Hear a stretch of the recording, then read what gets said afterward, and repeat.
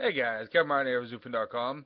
Uh, we're getting closer and closer to getting into our studio. Still looking for the perfect place.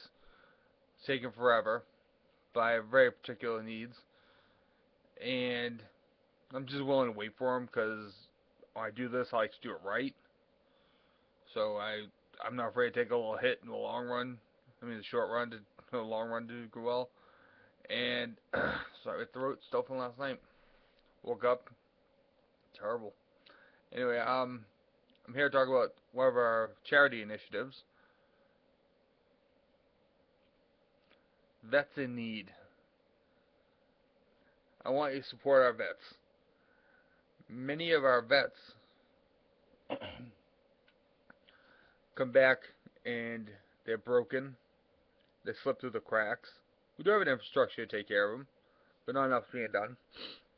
And I want to use part of our studio space and our time to do some good. We send them away, they come back broken, whether it be mentally, physically, or they just lost their way because their jobs have lost while they were gone, their family's gone. A lot of stuff happens. A lot of them fall through the cracks. So I want to help our veterans, and I want to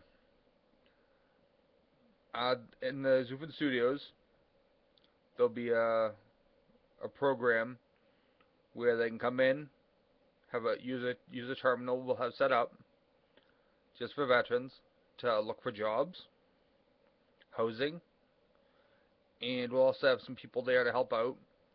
This is a big project, so I'm not exactly sure the detail, particular details. So we gotta get staff and stuff. But I know there's a lot of people who volunteer for this stuff, so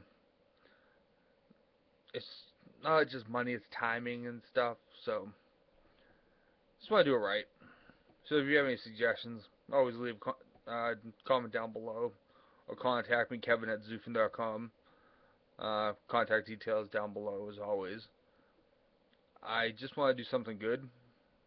A lot of this, the XUFN stuff's fun, but we gotta take care of our troops. Um, we'll also have um, help them get some clothing if they need to go for job interviews.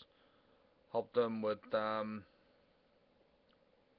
do the most most we can for the most veterans we can. So, thanks guys. Let me know what you think down below. It's a good thing. Show some respect and give back a little to those who have given a lot for us.